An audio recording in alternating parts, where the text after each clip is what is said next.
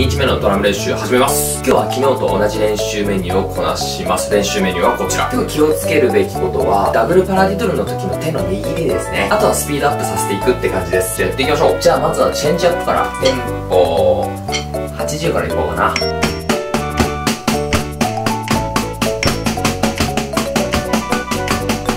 おいなんか上手くなってる。足を基準にしてやるといいんですねこれ。テンポ90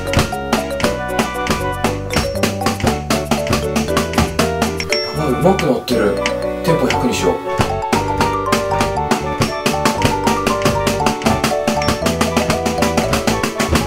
テンポ110だ。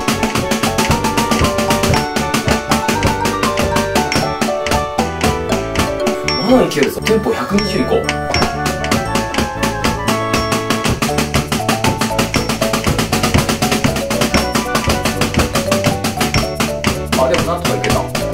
いですね。速いテンポ叩けないな。どうやったのでは次は16分フレーズ。昨日結構速くできましたからね。90ぐらいからいきますか。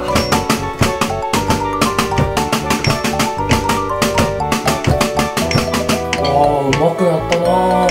気のせいかな。テンポ110よしテンポ120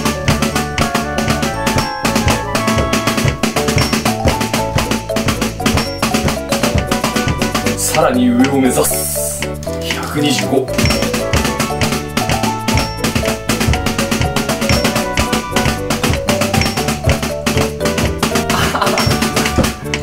やべえ。あーダメだ。な125早いわ。次はアクセント移動やっていきます。アクセント移動苦手だからな。70からいこうかな。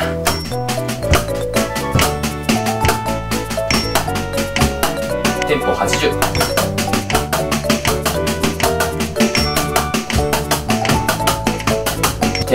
90テンポ100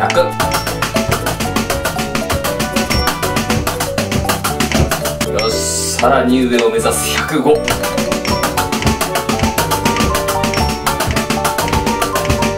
まだいける110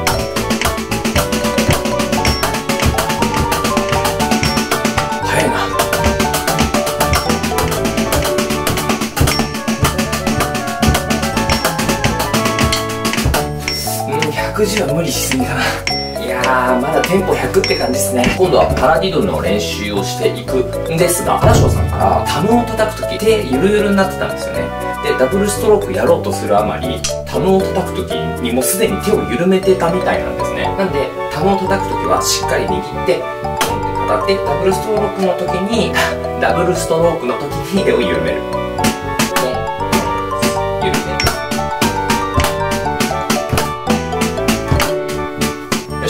テンポ60テンポ70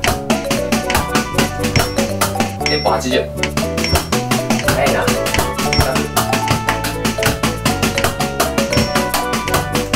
今トリプル。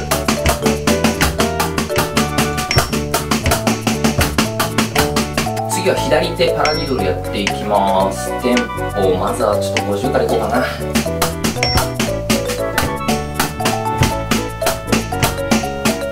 よし、テンポ60。今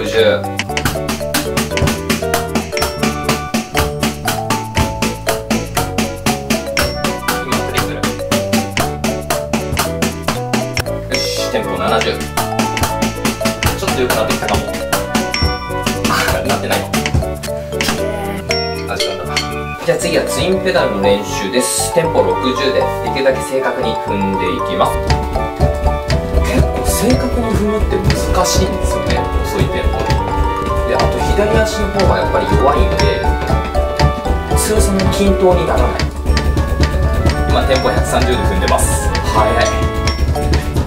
正直喋るのむずい。今日はこれを20分間やってます。はい32日目のドラム練習が終わりました。最後のバスドラムの練習で汗だくです。もう今からシャワー浴びてくるっすわ。やっぱり足を基準にして手を動かすとすごくリズムに正確になってくるなっていうのすごい今日も感じました。これ結構大事なことなんじゃないかなと思いましたね。では今日もありがとうございました。明日もよろしくお願いします。チャンネル登録もぜひお願いします。評価やコメントもぜひよろしくお願いします。